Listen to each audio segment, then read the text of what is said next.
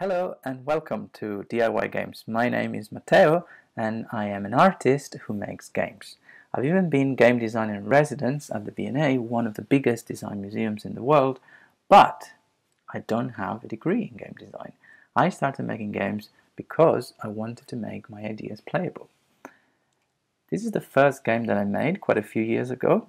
At the time, I was studying graphic design and I was quite into this story by a Greek philosopher called Plato named The Cave Allegory.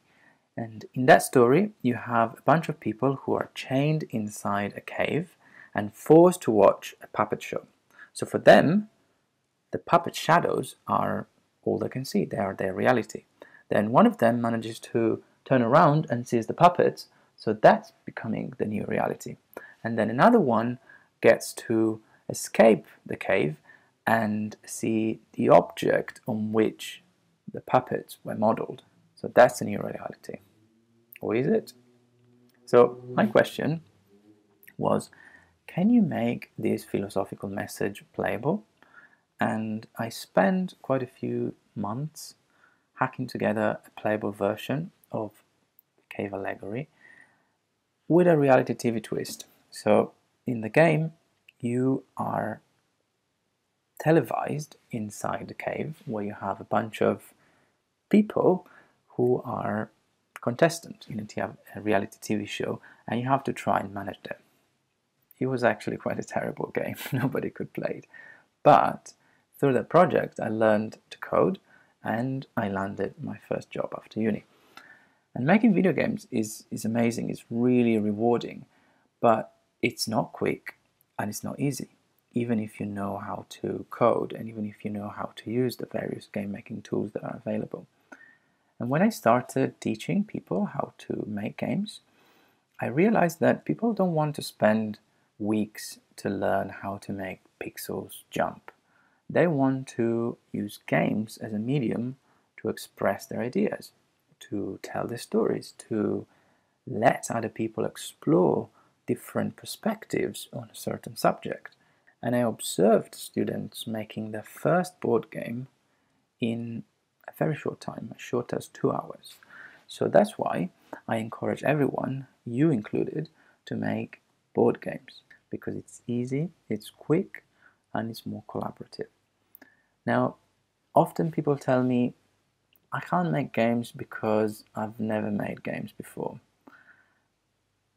Are you sure? I bet that as a child, you have playfully interpreted the world around you. You have taken everyday objects and turned them into something magical. You have played the role of an imaginary evil character or a hero. Aren't those games? Okay, let's take something a little bit more conventionally gamey, like a board game. Now, I bet that as a child, you have at least once changed the rules of a board game to make it easier for you to win, or maybe to make it easier for a younger player to play. So you see, you have been a game designer before. So the first step of this course will be to reawaken your inner game designer by generating a lot of game ideas. Then you will take an old game, analyze it, understand how it works and what it says, and then hack it with your own ideas, with your own rules. Turn it into your own game. Throughout the course, you will get step by step guidance. You will get printable worksheets that you can download that will help you for each step.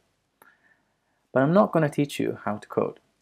I'm not going to teach you any game making app. I'm going to teach you how to think like a game designer and how to make your ideas playable by other people.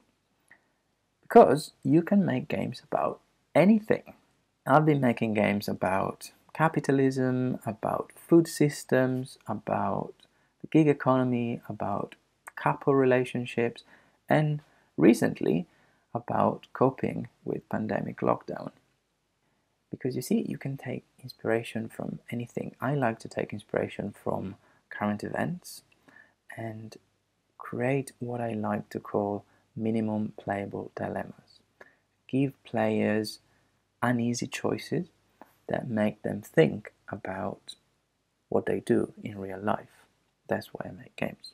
So if you're inspired to make your own games, head to gumroad.com slash baddeo where you can find a course, DIY games, and a bunch of examples of games that I've made using the same process.